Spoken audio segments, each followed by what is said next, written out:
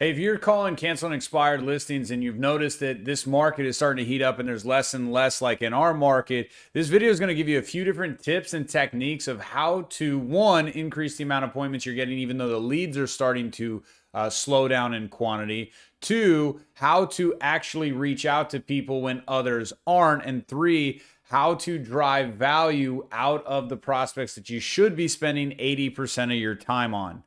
Be well. 8911. When you do your your property dialer, same thing with you, uh, Surreal, and you're using Vulcan. Okay, do the optional filter, and instead of just doing today, always do the last three days because there's there's one third to one half of the leads call each you you and usually it takes you about 20 minutes to call the full so if there's 20 properties the 30 properties that come available to the, the market in a day then that means that it takes about 20 to 30 minutes to hit all the fresh. Yeah. If there's one third to half, add the last two days. So every single fresh, you're hitting three times, which is going to be more than the average agent. If, if, if there's getting more calls, what are you going to do? You got to make, you got to be the one that hits them more. Right? If you want to win, increase the amount of times. If, if everybody's calling them more and you got 20 people calling them once, then you be one of the three people that calls them three times. Increase your chances. Mm-hmm. That's smart. And, all, and all you have to do is every day, instead of just doing the single day and going, oh man, there's a lot less, go back two days. And then hit the not contacted ones. Or just, just, yeah, the ones that you haven't, because when you contact them, you're moving them into a different bucket or you're throwing them in the trash. So they're yeah. being pulled from the list. When they're going active, they're being pulled from the list. So do the last three days. And then tomorrow, do the last three days. And then the next day, do the last three days. Because then what happens is you're hitting every single lead three times, which increases your chance to be successful. And you haven't increased the amount of time that you're spending prospecting.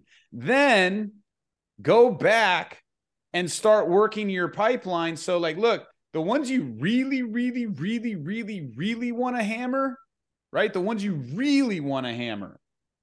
You want to go back basically from April of last year to, to February of this year. You guys should spend be spending 80% of your active outbound time to the properties that didn't sell from April of last year to February of this year. Why? That's when the market peaked and just was coming down. Yeah anybody that was on the market there, it was like, ah, you know, the market sucked. We're back, baby. We're back. And enthusiasm and energy, that's where you're going to find the paychecks. Every single nurture that you've had in your pipeline, write this shit down, man. Every single nurture that you've had in your pipeline for the last six months, Go back into KV Core and call all of them. Hey, I just wanted to give you an update. And and by the way, take your whole week. I mean, like literally 80% of your prospecting time, make it from April to February and just relentlessly hit those. And the message is, hey, last year sucked. You got hit. This is your window of opportunity. You wanted multiple offers. You wanted that. Oh, we're it's it's it's it's back. This is your window of opportunity. If we can get you your price or more, and we can line up the perfect timing because I can get you lease backs now. I can get you extra time in the office. I can get you the unlimited contingency timeline extension for, for a replacement property. I can get you all that again. Right? That's where your opportunity is going to be. The people that just didn't sell, we still want to hit those people because it still could have been an agency problem. But most likely, if it's not selling again right now, it's either price or it's condition or it's agent. Price and condition takes time. Go back to all these other people. There's a lot of people that are thinking about selling. It's April. We should have been hitting those about a month ago, maybe earlier. But right now, 80% of your prospecting time should be April, April expired and cancels to February add the two extra previous days. So always call the last three days. And every day you're hitting the last three days. So you got this rolling pipeline where you're hitting people three times and then not the fourth and it falls off. Yeah. Smart. Saturday and Sundays. Listen, most of these leads are being called by ISA companies. Yeah, I got a call the other day from my mom's house in Arizona, and it was terrible. It was like a ISA with a they're garbage, thick accent. It was just it was bad. Look, if if if you're struggling to call on Saturday and Sunday because you're working Monday through Friday, then take Thursday off and call Saturday for three hours.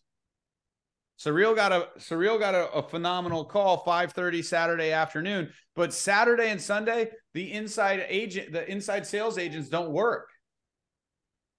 Shift some of your prospecting time to Saturday. Shift it to Sunday. You face less competition. People are not in work mode. They're not getting all the telemarketers are off Saturdays and Sundays. Be the be the person and by the way just by working there when they pick up the phone yeah there's going to be like you're calling me on a saturday but there's going to be a lot of people like wow you're calling me on a saturday? You work hard don't you? Yeah. Yeah i outwork all the competition. This is what i do. I'm calling you because it's is a better time. Right you're right I think a lot of the business I've gotten in the last couple weeks have been me. I call it just like squeezing like the fruit, you know, squeezing the lemon is just like trying to get more people out of the previous conversations. And um, what I something I've noticed is you get a little anxiety calling people kind of back because sometimes you're like, oh, I don't know if they'll remember me, I don't know, blah blah blah. But usually, at least for my the people I put in my pipeline, those are all people I've had somewhat decent conversations. I don't really put you in my pipeline if you're not like at least cool. So usually the people are cool, you know, and it's kind of just my fear that's getting in the way versus like, you know, when I actually get on the phone with them, they're fine. Yeah, it's a it's it's a very very strong percentage fear base. And by the way, you're not a, it, it's not like I'm immune to it, right? I I would go through the same thing like, "Oh, what if they what if they don't remember me? What if they don't like me?" And at the end of the day, it all goes back to do you want your do you want to build a real estate team and be a very successful real estate owner or not? Because it like let's let's be really brutally honest. If you can't not go